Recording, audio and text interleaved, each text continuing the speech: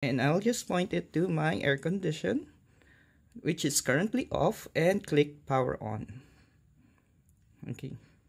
Now what's it is trying to do, and as you can see, it already turned on the air condition.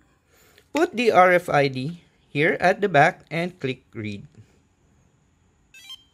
And as you can see, it has already read it as 1243078. Let's click emulate and put it here since HID. And as you can see, it had copy FC124CN30728 from Flipper Zero. Let's try to emulate our save file again and see if it will work. So the short beat will be on the ground and let's put it on V2 like this. GPIO, GPIO manual control and let's go to where we put it which is B3 and let's just click it out and as you can see every time I click it it will turn on. And I'll just plug it in. And I can just trigger it and run. And in a few seconds, you should be able to hear Rick asking. It is now asking for the security key and we will be inserting it again like this.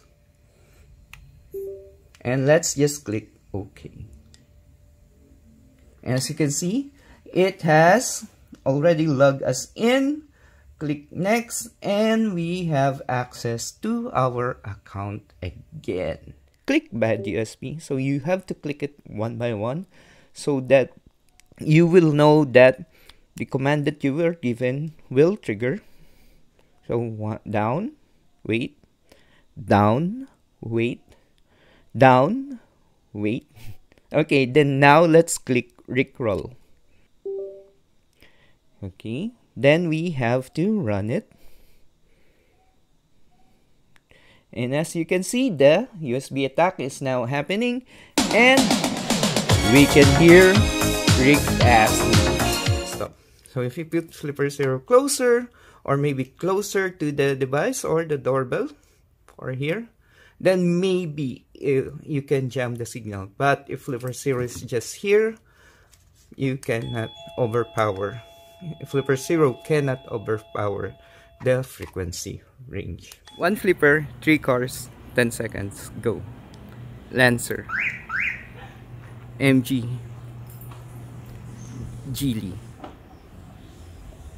And in that video, I have opened three cars in 10 seconds.